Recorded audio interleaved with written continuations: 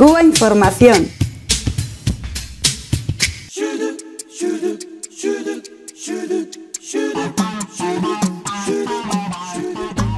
Bueno, continuamos con el programa, en este caso hablando bueno, pues de una sanción norteamericana eh, a un banco parisino, un banco de, Francia, el BNP Paribas, Banco Nacional de París.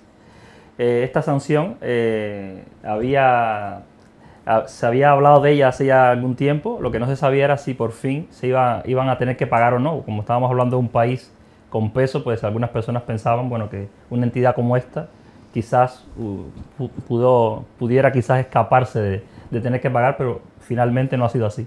Finalmente van a tener que pagar la sanción. Así que... Bueno, esto es para, para quienes dicen que el bloqueo a Cuba no es un, un eufemismo, ¿no? O sea, curiosamente un, un poder eh, económico, un factor de poder económico como es uno de los principales bancos del mundo, el principal, eh, la principal empresa financiera de, Francia, como es la BNP, eh, va a tener que pagar finalmente casi 9.000 millones de dólares, un récord en las sanciones de Estados Unidos a aquellas entidades financieras del mundo que han violado las leyes eh, del llamado embargo, bloqueo, etcétera, mm, tanto a Cuba como a otros países, porque Estados Unidos quiere hacerle pagar a BNP no solamente por las transacciones en dólares que ha podido hacer con entidades cubanas, sino también de Irán, de Sudán y, otras, y otros países, países sometidos no a embargos de la ONU, sino de Estados Unidos. Es decir, que Estados Unidos mmm, se considera con el derecho y aplica realmente eh, esto en, en, territorio que no es suyo, en un país eh, soberano, un Estado soberano como es Francia, es decir, esto atenta contra los principios mínimos y básicos de la soberanía nacional de cualquier Estado, ¿no? y en este caso de un Estado potente, de una potencia como es Francia, que finalmente tiene que agachar las orejas ante Estados Unidos. ¿no? ¿Y todo para qué? Bueno, pues para que el Departamento del Tesoro siga cumpliendo a rajatabla con las leyes del bloqueo a Cuba y las leyes del bloqueo a otros países. Digo que esto es un mensaje para aquellos que dicen que el bloqueo es un eufemismo, porque BNP no solamente va a tener que pagar, sino incluso puede ser sometido a una suspensión temporal de sus actividades en Estados Unidos, donde tiene prácticamente, creo que son casi el 20% de, de, de todos sus clientes. O sea, puede ser una catástrofe para esta transnacional bancaria francesa y es la prueba de que Cuba no puede operar con normalidad, ni comprar cosas en el mundo, ni pagar cosas en, eh, en, normalmente, sino que tiene que acudir siempre a subterfugios, a terceros países y, y a cosas eh, bueno, fuera, de, fuera de la luz, ¿no? de la luz eh, comercial, podríamos decir. Así que bueno, bueno un, un ejemplo más. Esto es una prueba más de, de la prepotencia de, del coloso imperialista y cómo, eh, bueno, sabemos que Estados Unidos como delincuente internacional que es, eh, viola la, las leyes internacionales, viola el derecho internacional, las disposiciones de Naciones Unidas, invade países, roba, explota, eh, asesina, bueno, todo eso lo sabemos, ¿no? Lo que es difícil de entender cómo le aplica una multa récord a un banco, no de, no, sí, de otro país, pero de un país que es socio de Estados Unidos, o sea, de, a, un socio, a un, a un colaborador, a un, podemos decir también a un lacayo en la política exterior de los Estados Unidos. Y según el derecho internacional, una ley eh, de un país, una ley nacional, no puede aplicarse a, un, a otro país. Pero es que la, eh, la, política esta de bloqueo es una guerra económica, es un cerco económico a la nación cubana, eh, tiene carácter extraterritorial. Y es ahí donde choca con, con toda la, la legislación, con el, con el, derecho internacional mismo. ¿no? Y, y leo textualmente, eh, el eh, o sea, está terminantemente prohibido, según el derecho internacional, aplicar de modo extraterritorial una legislación nacional. Bien, por ejemplo, como dice, la ley francesa no puede aplicarse en Alemania y la ley brasileña no puede aplicarse en Argentina. Ahora, dice, la legislación estadounidense sobre las sanciones económicas contra Cuba y otros países bajo embargo se aplica en todo el mundo y afecta a BNP Paribas. Según la legislación francesa y el derecho internacional, BNP Paribas no ha cometido ninguna irregularidad. El establecimiento financiero, siendo un banco francés, no tiene que someterse de ningún modo a la ley estadounidense en nombre de un principio fundamental del derecho internacional, que es la no extraterritorial, extraterritorialidad de las leyes. Pues bueno, ahí donde está el, tema que hay que denunciar y hay que combatir con todos los medios y las herramientas eh, disponibles, denunciarlo porque eh, lo cierto es que el bloqueo, toda la estructura, todo el andamiaje de, esta política criminal contra Cuba está intacto.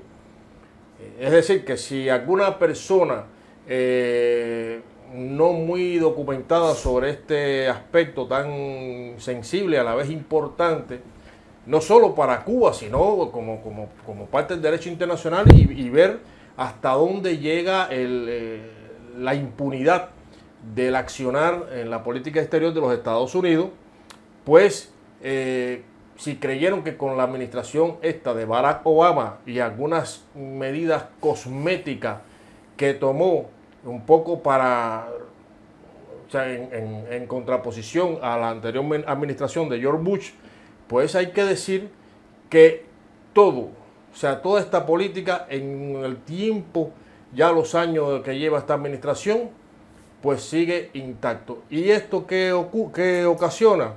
Pues afecta todo el quehacer de la economía nacional, de la vida del pueblo cubano, afectando a las personas más vulnerables, los niños, las mujeres, los ancianos, y donde la revolución cubana tiene que hacer un enorme esfuerzo para mantener sus programas sociales y la cobertura eh, social eh, para toda la población. Esta política, hay que decirlo y, lo denunciamos, es una flagrante violación de los derechos humanos de todo un pueblo. Sí, yo, bueno, por mi parte poco me queda ya por decir, pero, pero sí destacar dos, dos cositas. ¿no? Eh, por una parte, que, que, bueno, no es la, primera empresa que, que, se ve afectada por esto, incluso hay algunas de ellas que, que, no les importa que les multen, que directamente van porque, porque el negocio es mucho mayor que, lo que la multa que les puede suponer. Por lo tanto, también eso constituye un, un desafío pues, muy fuerte a, a, la política del bloqueo. Y luego, por, por otro lado, también el hecho de que sea Francia, ¿no? que, que al final va, a agachar la cabeza y se supone que es el país de, de, la soberanía por antonomasia. ¿no? Y en ese sentido Francia está siguiendo la misma línea que muchísimos otros países de Europa. Recordemos la, el, ir a la guerra a Irak, ¿no? el Europa hizo lo que Estados Unidos le dijo que hiciese. Y bueno, no es ninguna sorpresa en ese sentido de, de que en realidad pues, Estados Unidos está por encima de esa ley internacional, a pesar de que es el que la hace también. ¿no? Entonces, e, en esa línea serían las únicas dos cositas que me quedarían por destacar después de todo lo que habéis dicho vosotros. Bueno, hay que recordar que, que no es el primer banco que tiene multas millonarias por parte del Departamento del Tesoro de Estados Unidos. La banca suiza, varios de los bancos suizos fueron multados hace poco. El Credit Suisse tuvo una multa récord de 2,6 millones de dólares en mayo de precisamente de este año. Por supuesto, esta multa a BNP es, multiplica esta cifra por, por muchos números. ¿no? Mm. Eh, bueno, pero hay que decir que, mm, que el, bloqueo, el bloqueo financiero, las transacciones financieras, lo estamos viendo nosotros mismos en la propia asociación que, bueno, que es uno de, de, los soportes de este medio como información, que se dedica a la cooperación internacional eh, a la hora de hacer transacciones, de hacer transferencias de fondos a, países para comprar, por ejemplo, sistemas de riego para Cuba y otros elementos, inmediatamente eh, tiene que responder a una serie de preguntas de si ese dinero tiene que ver o va a ir a parar al gobierno cubano, eh, para qué va a ser, si el Estado cubano está metido en, el ajo, eh, incluso cuando esas transacciones ni siquiera se hacen en dólares, porque realmente lo que está penando aquí eh, Estados Unidos es que las transacciones que ha hecho BNP eran en dólares, es decir, en la moneda que les pertenece a ellos. ¿no? ellos se agarran a que el dólar, aunque sea una moneda de intercambio internacional, ellos lo fabrican en su máquina de hacer dinero y por lo tanto les pertenece. Entonces ellos pueden multar por eso. Pero es que incluso en otros casos, cuando se hacen transferencias eh, para comprar equipos para beneficiar a cooperativas agrarias en Cuba, también hay una serie de, eh, de problemas de retención de dineros, etcétera, porque ninguno de los bancos quiere exponerse a las multas de Estados Unidos, porque la vigilancia del Departamento del Tesoro recorre el mundo y recorre todas las entidades bancarias y, es, digamos, como un ojo que está ahí eh, persiguiendo cualquier transacción que pueda beneficiar a Cuba, incluso transacciones de tipo humanitario. Claro, y, detrás de todo esto, aparejado todo esto, está el hecho de los medios. O sea, al final, si hubiese una campaña mediática en el que se, se condenara esto, pues, pues bueno, la gente por lo menos estaría concienciada. Sería más difícil para el gobierno norteamericano hacerlo, pero como los medios están a su favor, pues mm, ninguna no se dice nada con respecto a esto. Eh, la gente está, está, están tan convencida de que tienen la razón los Estados Unidos que luego ves esta noticia en las redes sociales y la gente dice, ah, pues por listos. o sea, pues, pues bien, que los hayan multado. O sea, hasta, hasta ese nivel de, de confusión eh, tiene la gente en su cabeza y es precisamente por la acción de los medios detrás de todo esto, de cómo al final pues terminan llevando su mensaje por todo el mundo y, terminan comprando la voluntad eh, de la humanidad. es curioso también que, vengan, bueno, llama la atención que vengan dirigentes, altos dirigentes, ejecutivos, eh, como el que acabamos de mencionar en la mesa anterior, y que hable de que, bueno, que Cuba tiene un atraso tecnológico, ¿no? o que Cuba tiene tal, tal deficiencia, cuando es su país, la política criminal de su país, el que ha impedido que Cuba tenga un desarrollo normal como país soberano, independiente, libre, y que el pueblo cubano con toda esa capacidad que ha desarrollado la revolución, porque una de las, de las grandes, eh, los grandes recursos que tiene el país es precisamente el capital humano bien preparado que ha creado la revolución pero claro, hace falta la tecnología, hace falta los medios, hace falta los recursos. Y si hay un país poderoso que impide eso, pues lógicamente el país tiene que hacer grandes esfuerzos y se ve con más dificultades para lograr eh, eh, el desarrollo que todos deseamos, ¿no?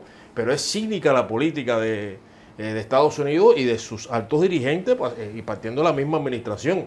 Y entonces, bueno, ahora estamos en, el, en, este, en este escenario donde una vez más con estas multas, pues se está demostrando que está vigente, está vivo esta política de bloqueo. Una política de bloqueo que, bueno, algún día tendrá que desaparecer y va camino a desaparecer porque ya Cuba está insertada en, un escenario geopolítico y también de, de, integración que no era el que existía hace 15 años atrás, ni 20 años, ni demás. Entonces, Estados Unidos se está quedando eh, completamente aislado y su política completamente obsoleta eh, en estos tiempos que, corren, ¿no? que, hay otra dinámica, hay otra, otra forma de, de, entender las relaciones y Cuba la está practicando no solo en su entorno geográfico natural, sino en las buenas relaciones con China, con Rusia, etcétera.